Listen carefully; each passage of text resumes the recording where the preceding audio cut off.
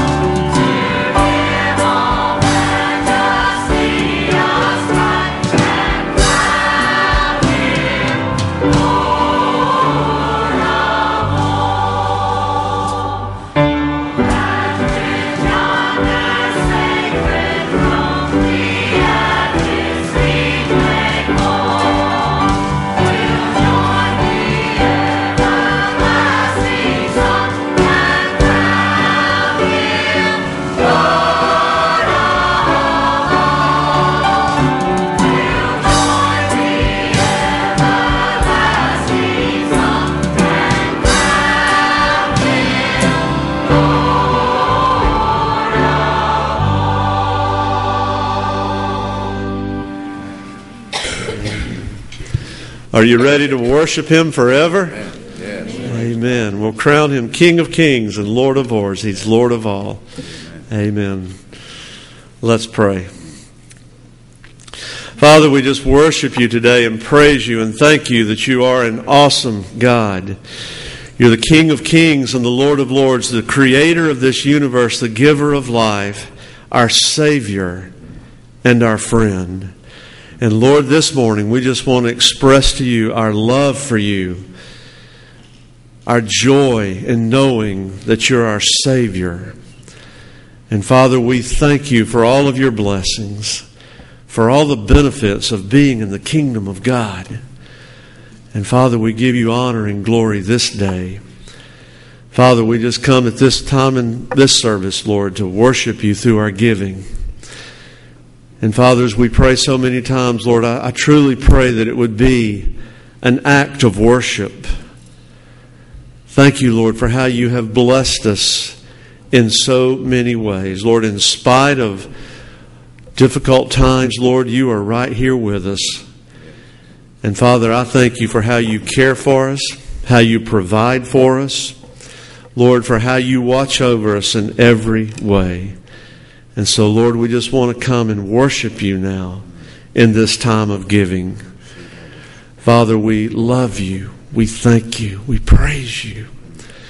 And Father, as we enter into the remaining time in this service, Lord, I pray that, that as the choir sings, as Elsie sings, Lord, that you'll just bless them in a powerful way.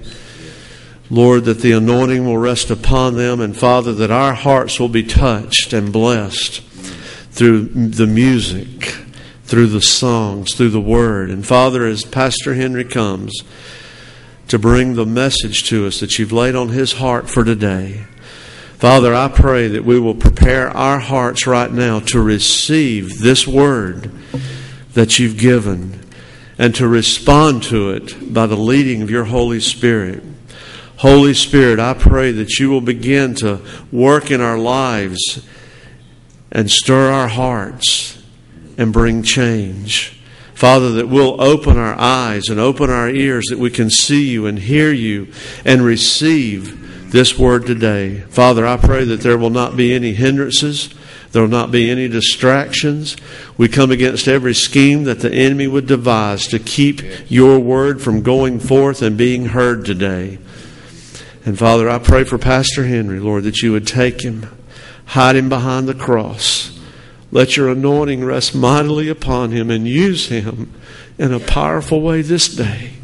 It's in Jesus' name that we pray. Amen. Amen. Amen.